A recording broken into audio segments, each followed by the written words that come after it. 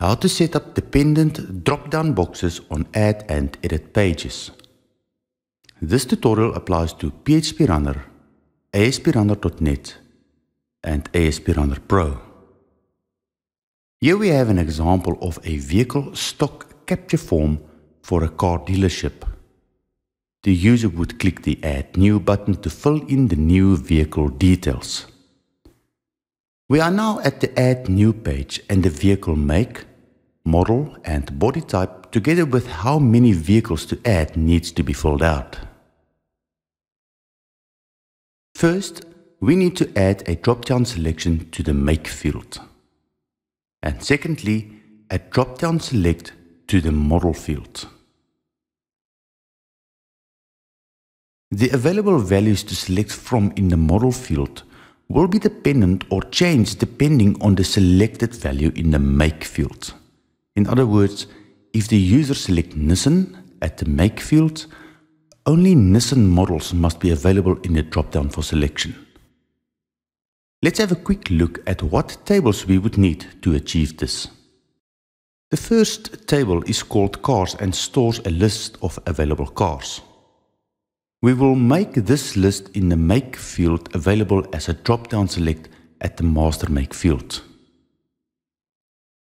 The second table we would need is a card type table. This table stores all the models for each vehicle make. We will make the list in the type model field available as a drop-down select at the master model field. Additionally, we will make the master model field dependent.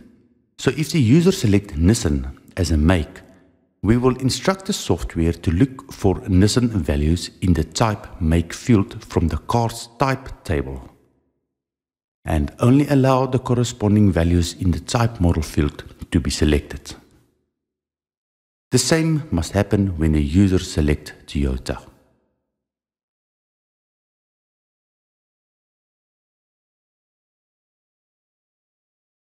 Okay, so far so good.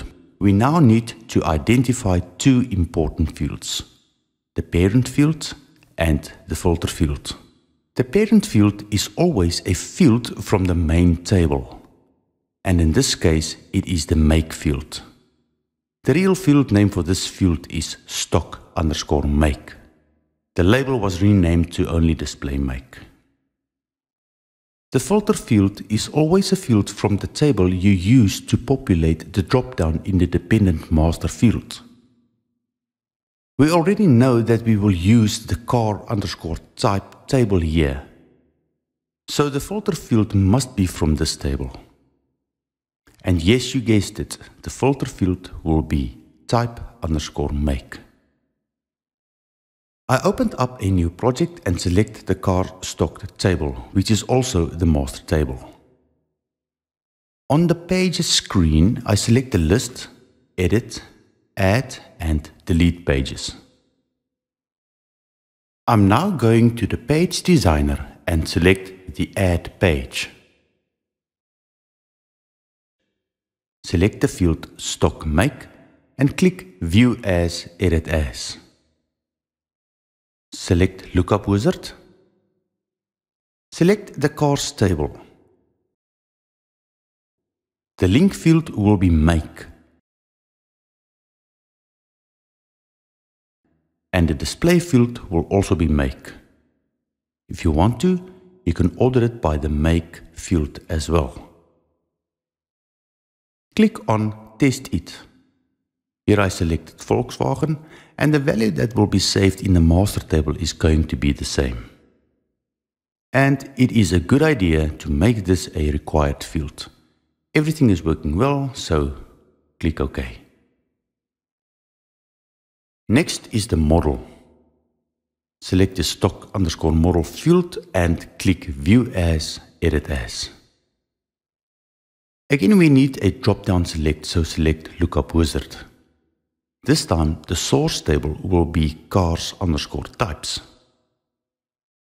The link and the display fields will be type underscore model as we need a drop-down of the models. Again, feel free to order the drop-down values if you like. Now if we leave it like this, all models of all cars will appear in the drop-down.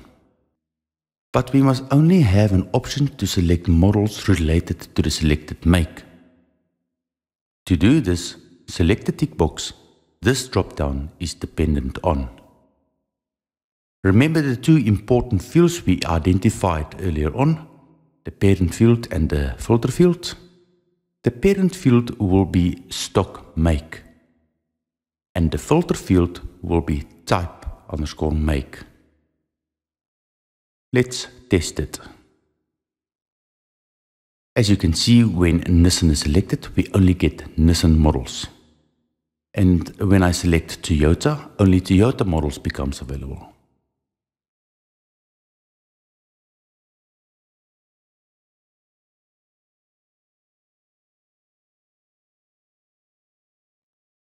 You may want to make this field compulsory too. And click OK to save.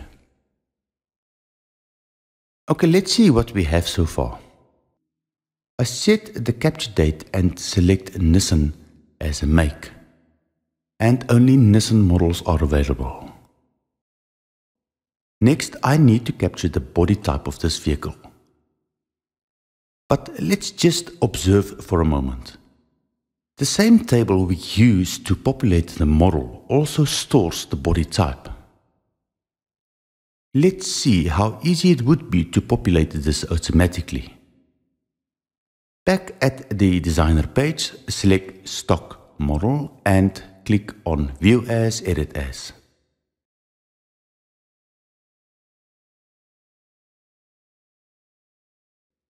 Click on autofill. Here you see all fields from the main table. Stock underscore body underscore type is the field we would like to auto-populate. And type body is the already populated value for each vehicle. Tick apply on edit page as well. And click OK.